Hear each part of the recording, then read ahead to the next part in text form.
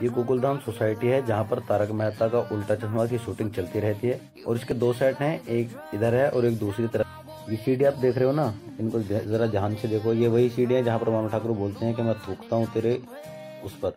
तो गैस आप इसको थोड़ा ज़रा ध्यान से देखिए। ये वही सीढ़ी है जहाँ पर ये दिल वाली मूवी शूटिंग हुई थी और उसकी चौकी बनाई गई थी। तो चलिए हम थोड़ा अंदर से इसको दिखाते हैं आपको।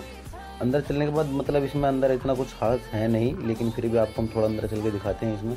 ये सामने जो लिख रहा, दिख रहा है आपको, ये खतरा लिखा हुआ है, क्योंकि यहाँ पर अब कोई आता जाता है नहीं तो इसलिए अभी ये बंद है।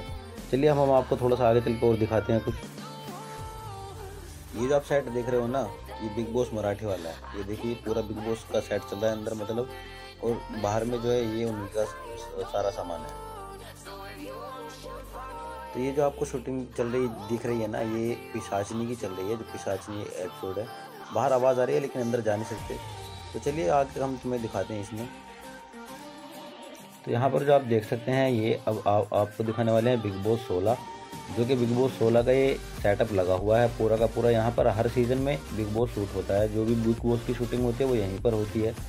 और ये पूरा सेट जो भी आप गाड़ी वगैरह देख रहे हैं ये सब बिग बॉस की हैं। काफ़ी लोग इसमें काम करते हैं, इसलिए यहाँ पर काफ़ी ज़्यादा लोग होते हैं और काफ़ी बड़ा ये सेटअप है। ये बिग बॉस का मेन गेट है, जो आप देख रहे हैं यहाँ पर। फ्राइडे वाले दिन सलमान भाई आते हैं और वो यहाँ पर आकर अपना शूट करते हैं।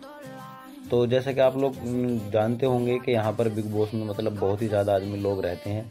बीस पच्चीस से लोग तो अंदर घर के अंदर ही होते हैं और उनको कैमरामैन होता चाहिए होता है, उनको मेकअप करने वाले होते हैं। तो इसी तरीके से यहाँ पर बहुत सारे लोग होते हैं बिग बॉस के घर में। और ये सबसे बड़ा सेटअप जो है वो बिग बॉस का ही है। बिग बॉस मतलब यहाँ पर काफ़ी दिनों तक चलता है। तो चलिए एक बार फिर आपको वापस चलते हैं यहाँ से और आपको दिखाते हैं थोड़ा सा आगे चल के कुछ और। ये वहाँ से यहाँ तक की सारी जो आपको दिखाई मैंने अभी, ये सारी बिग बॉस की ही एक वो है जहाँ पर बिग बॉस शूट होता है। ये जो सेट है ना, ये नागिन का है, जो नागिन आपको पता है कितना पॉपुलर एपिसोड है, सब इसको पसंद करते हैं और मतलब यहाँ पर ये नागिन की शूटिंग चलती है। तो आप इसको तो पहचानते ही होंगे। तारीख पे तारीख तारीख पे तारीख। ये वही वाला सीन है। आपको ये भी मैंने दिखा दिया है।